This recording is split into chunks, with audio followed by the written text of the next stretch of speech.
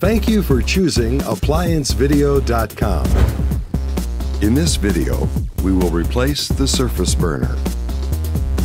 The surface burner is most commonly used in many Electrolux, Frigidaire, Westinghouse, and Gibson ranges and ovens. Our experts give this repair a level 1 skill rating.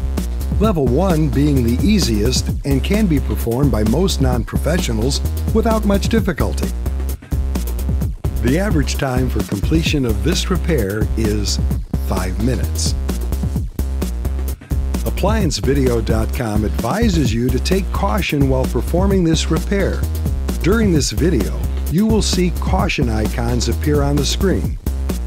Such icons include sharp edges, electrical dangers, gas and fire hazards, lifting hazards, water damage, and delicate components. You may not need any tools for this repair.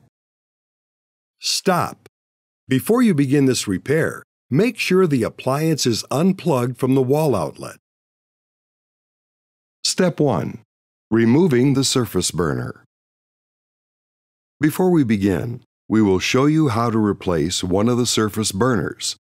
This repair is the same for the remaining three burners, which vary in size. Let's begin by removing the front right surface burner. Grasp and lift the burner, then pull it straight out. Step 2. Replacing the surface burner.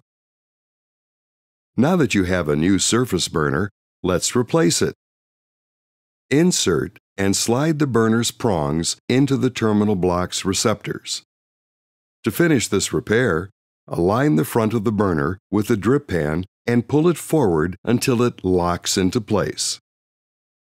Now, reconnect your appliance to the wall outlet. Congratulations! You have successfully completed this repair. Thank you for choosing ApplianceVideo.com.